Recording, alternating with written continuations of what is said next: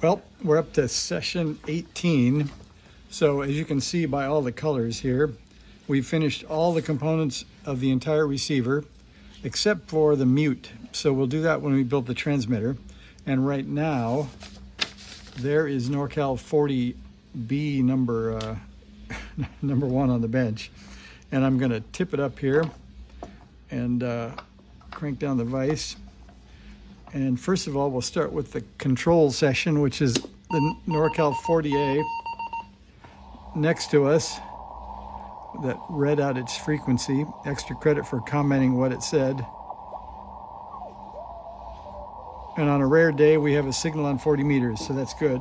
So while that's on, and it hopefully will stay there, we're gonna connect this thing up and see what we get.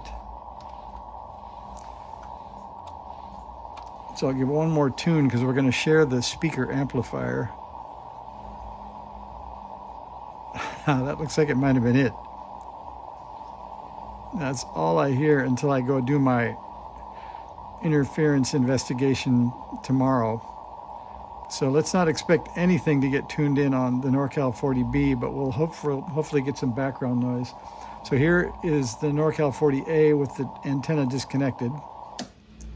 And here is, let's see, we'll move the audio. You can see that is this plug.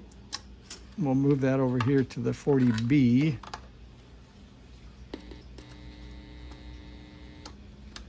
Okay, that's in or powered up.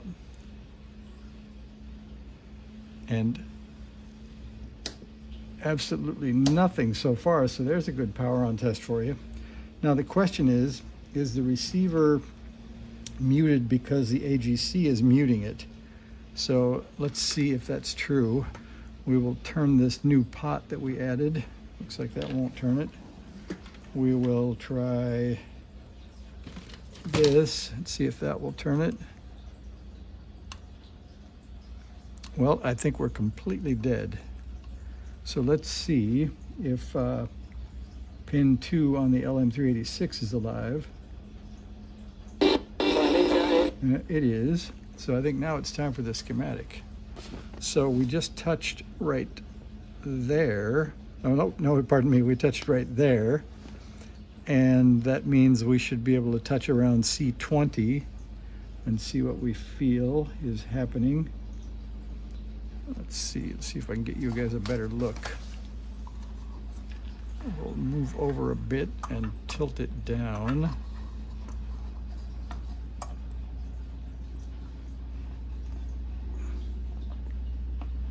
That gets rid of most of the glare. Zoom in like that. Maybe head over here a bit. You can hear whenever we get close to the iPhone, we hear uh, iPhone RF noise, which probably means it's hitting me too. There's C20. And so this FET, if we don't hear anything on the input of that FET, that would make me think there's something up there. So the easiest way to see that is R4, which is the 8.2 meg, and that's right here. So here's one end. Here's the other end. Although that doesn't look very soldered to me, I might check that. That means that we should have input from the product detector, so I can check AF out on U2 and U2 is here. So if we look at pins four and five, there's four and five. So that would make me think uh, something before has been altered. That's the antenna switch in the correct place now. Let me see if we can turn this speaker up anymore.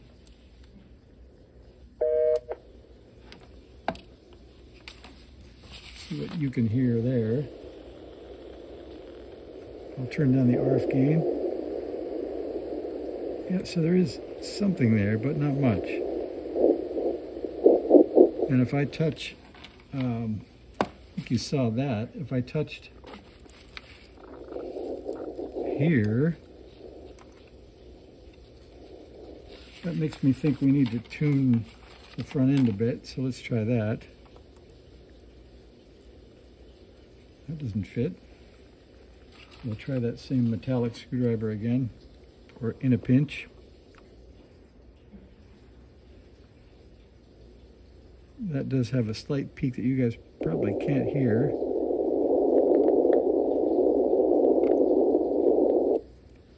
Well, that says something, doesn't it? so with a non-metallic screwdriver, I don't know if that, I don't think it will fit in that hole. It won't. So let me get the plastic one. All right, this should do.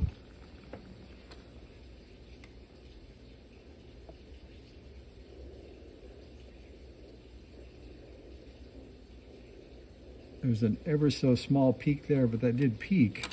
But that makes me wonder what's up with the antenna. So that's C1, which is here, and that goes to RX antenna. And if we follow that over here, RX antenna goes here, and it goes out the low pass filter. So the question is, if I turn off the, I'll turn the tuner to bypass. I'll turn it to dummy load. Doesn't do much. All right, so we're leaving it on the 40 meter dipole on bypass.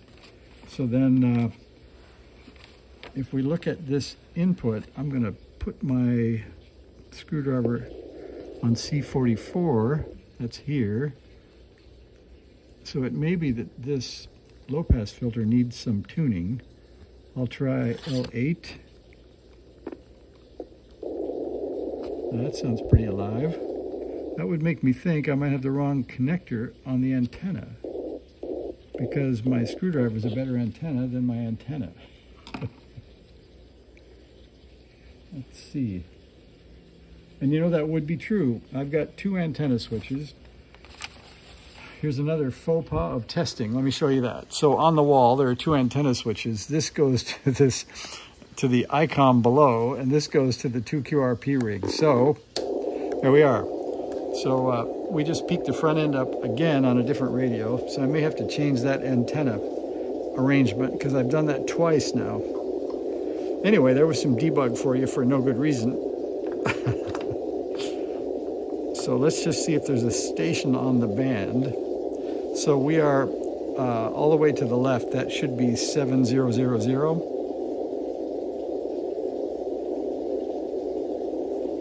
And I'll get out the paper above.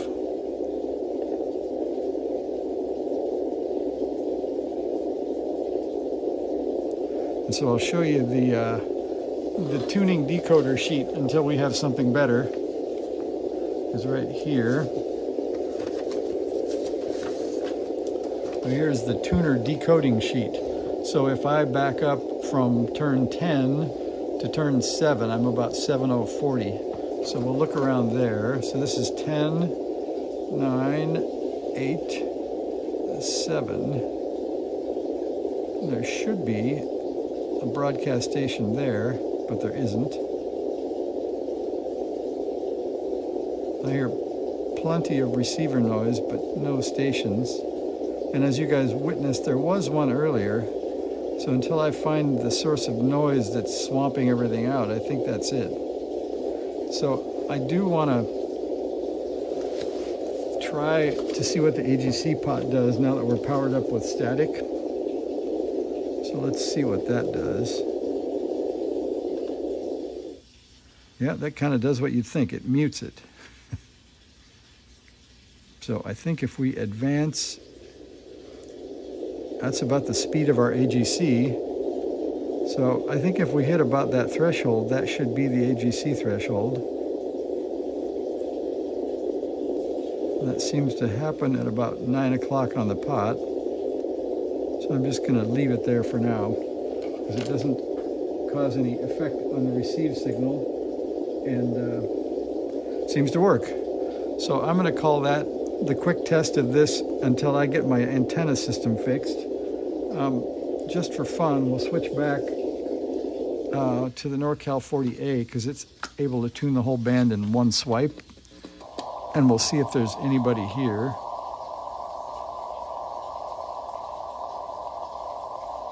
And there isn't. Oh, there's one. Let's see if we can find that guy on the NorCal 40A. So this frequency is... Sounds like 30 to me. Let's see what we can find. So 30 for this radio would be five turns. So we're gonna go to the top and come back down. Switch back the antenna and count back five. One, two, three, four. There we are. We got, if only we had a transmitter, huh? So this is working. Pretty cool.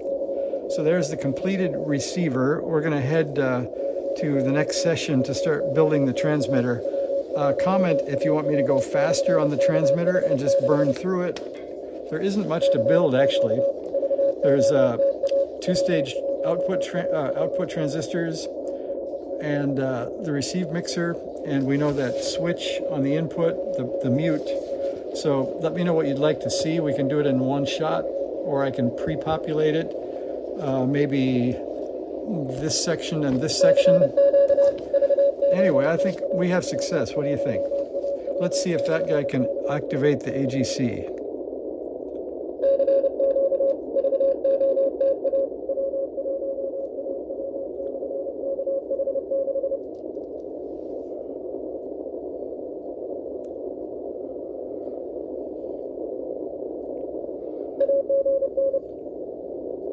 Yeah, you can hear the background noise go down, so the AGC is working. Pretty cool stuff. All right, well, there's a quick look at uh, NorCal 40B with the receiver complete, moving on to the transmitter. Please make a comment. Tell me if you have a receiver built or uh, if you're waiting on parts or if you have a NorCal 40A kit you're working on, because I've got uh, one of those in progress as well. So let me know where we're at and I'll try to sync up with some of you. All right, thanks for watching. See ya.